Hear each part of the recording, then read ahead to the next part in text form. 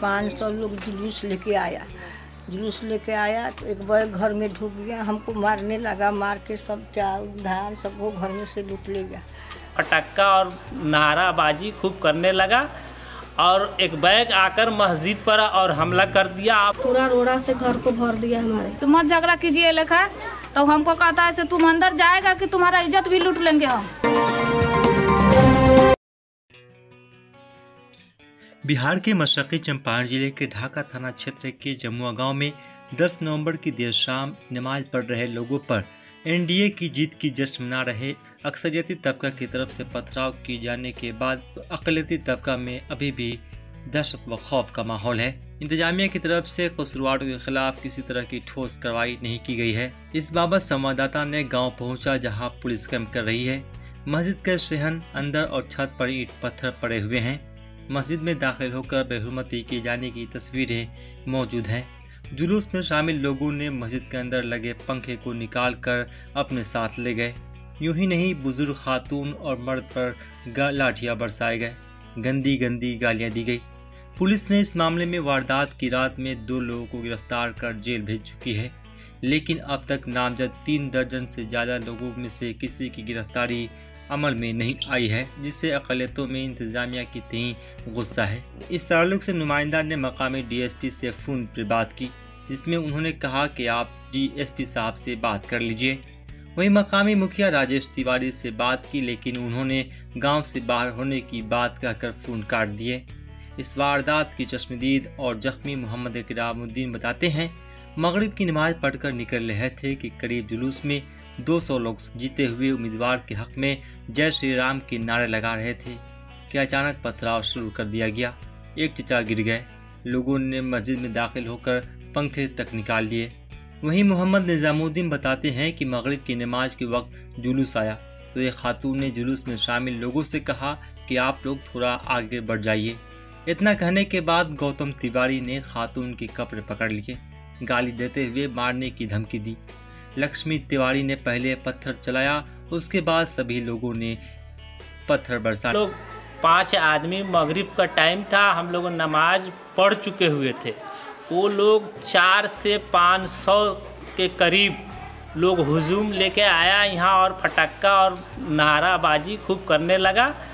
और एक बैग आकर मस्जिद पर और हमला कर दिया। अब हम पाँच आदमी हम लोग इधर उधर छुपे और दबे। वो लोग मस्जिद पर चढ़ के जय श्री राम का नारा भी लगाया। आ ये भी कहा कि मस्जिद को तोड़ के यहाँ मंदिर बनाएँगे।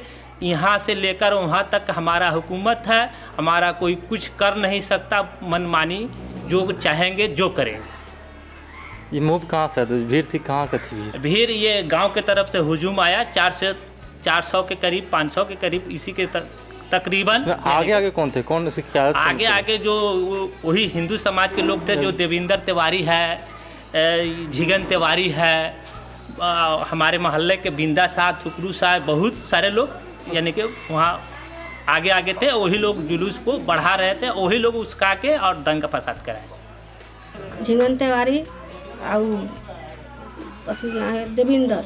ये सब बहुत गाली दिए, बहुत मारा पीटा सब किया। पहले ये सब बहुत तूफ़ान घर पर हमारे किया। आज सब पूरा रोड़ा से घर को भर दिया हमारे। मस्जिद से थोड़ी दूर अपने घर के नज़दीक जुलूस में शामिल लोगों के ज़रिए दुकान से लूटी गई सामानों को गौर से देख रही यास्मीन कहती हैं कि हमने लोगों से कहा कि आप लोग इस तरह मत झगड़िए। इतना कहने के बाद जुलूस में शामिल लोगों ने गलत हरकत करने की धमकी दी। काट देंगे।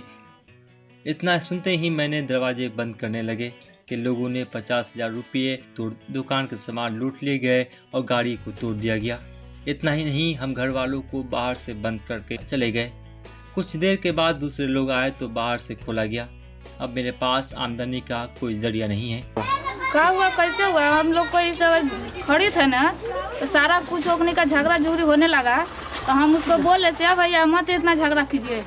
से मत झगड़ा कीजिए लेखा। तो हमको कहता है से तुम अंदर जाएगा कि तुम्हारा इज़्ज़त भी लूट लेंगे हम। इज़्ज़त भी लूट लेंगे मारेंगे काट देंगे तुमको। तो हम लोग को इतना जब इज़्ज़त का डर हुआ तो हम अंदर के माड़ी बंद किया तले हमारा पचास हज़ार रुपया दुकान घर सबको लूट लिया। उसके बाद में वे बाइक को फोड़ दिया। फोड़ने के बाद में हम लोग को घर से निकाल के बाहर कर दिया। मोटरसाइकिल सब फोड़ दिए। इधर हमने को घर में बंद कर के सामान लूट लिया।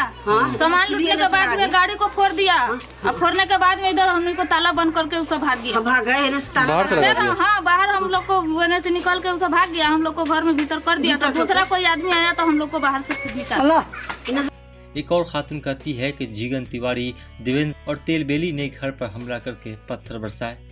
नजमा खातून। जिसके घर पर लोगों ने हमला करके राशन लूट लिए, दीवार को तोड़ दिया और रोती हुई कहती हैं 500 लोग अचानक घर में दाखिल हो गया। मारा पीटा और घर में रखे राशन को लूट लिया। का कर हम लोग खड़े हो घर पाँच सौ लोग जुलूस लेके आया। जुलूस लेके आया तो एक बार घर में ढूक गया। हमको मारने लगा, मार के सब चावल धान सबको घर में से लूट ले गया। हम भी रोका ना, तब जाके मस्जिद में ढुके सबको तोड़ फाड़ सब दिया। गाली बकने लगा। इस पूरे वारदात के हुए कई घंटे गुजर चुके हैं, लेकिन मकामी इंतजामिया ने अब तक किसी भी नामजद लोगों को गिरफ़्तार नहीं किया है जिससे अकलती तबकों में इंतजामिया के तई नाराज़गी और गुस्से की लहर है। Akram Zafir, bureau report, blood times, Motihari.